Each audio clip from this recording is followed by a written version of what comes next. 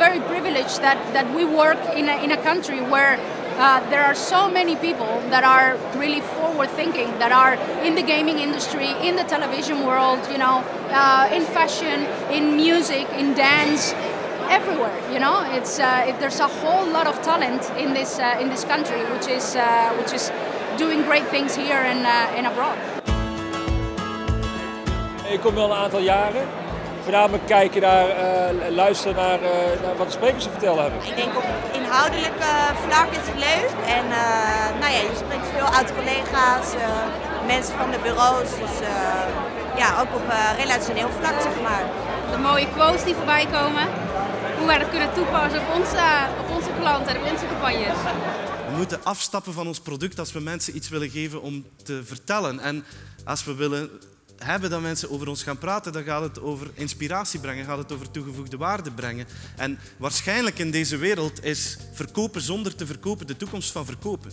In die end willen we allemaal verkopen, maar als we het gaan blijven doen op onze pushy manier, dan gaan ze ons niet huggen en dan gaan ze ook niet over ons praten. Wij hebben altijd wel ons zegje klaar. En dat is ook zo. Een van mijn collega's uit Maleisië, eh, in Kuala Lumpur, die zei een keer: Weet je waar jij mij het meest aan doet denken? Of jullie dan, want men denkt aan archetypes. Was eigenlijk van jullie zijn heel klein, hebben het graag voor het zeggen. En, en, en, willen toch wel de boventoon voeren, maar tegelijkertijd zijn jullie toch niet altijd de baas. Jullie doen mij denken aan een soort mini-me. Soms dan is er een heel heftig debat in de Kamer. Dan zit de hele Kamer zich over iets op te winden, terecht misschien wel. En dan zie je af en toe dit soort glimlachende ja. Ja, daar moet je een beetje mee oppassen. Want, dat dacht uh, ik, ja. Je hebt ook daar een, je, je, hebt een camera die is die precies op vak K. Dat heet, dit heet vak K. De ja. K van kabinet. Ja, dat snapte ik, ja. En uh, ja, maar ik ben het ook voor. Misschien zitten de mensen niet altijd naar Politiek okay, 24 kijken. Hè? Dus, uh, zoals jij. Ja. daar, jij hangt achter de buis de hele dag. de, de minister-president. Ja, de minister-president. Ja. Zeer gewaardeerde minister-president. Een, een, grapje over iemand waarschijnlijk uh, maakt, denk ik. ja, hè? zo ziet het ja, er wel ja, uit. Ja, ja, dat denk ik wel. De Mac-kroket is alles wat een Nederlandse kroket niet moet zijn.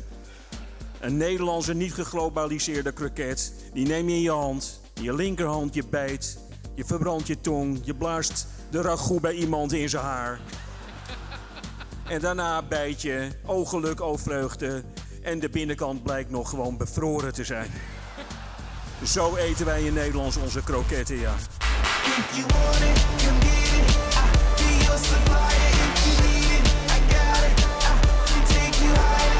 Nee, wat ik vooral heel erg leuk vond, was uh, een aantal ideeën die ik zelf wel had.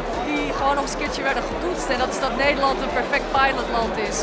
Dat wij heel innovatief zijn, heel snel ook innovaties oppakken. Uh, hoge breedbandpenetratie. En dat wij, als we wat minder zouden klagen en wat meer zouden ondernemen en wat meer wat blijer de markt op gaan, dat er volgens mij nog veel meer in Nederland zit.